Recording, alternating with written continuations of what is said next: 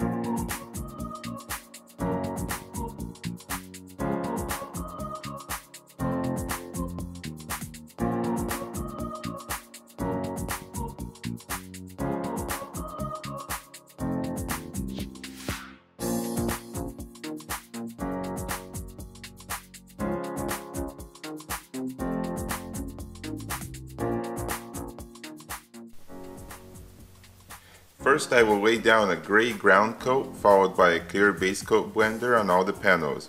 Then we will apply two coats of silver base coat followed by a final control coat which will lay out all the metallics properly. Once our base coat is dry, we'll apply two coats of clear and let the car dry before taking it out.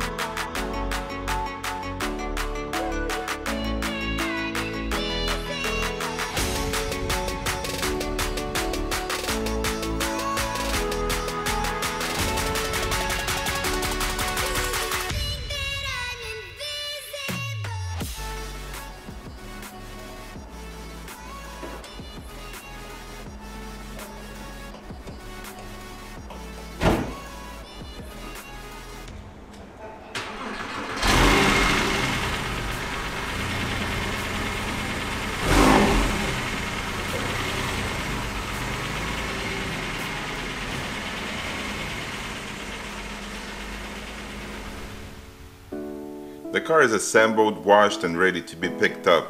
Everything turned out perfect, very happy with the job. If you like this video, don't forget to hit the thumbs up and leave a comment below. Also, if you enjoy this kind of content, don't forget to subscribe and turn on the bell notifications so you don't miss any new videos. That is it for today. Thank you guys for watching. I'll see you guys on the next one.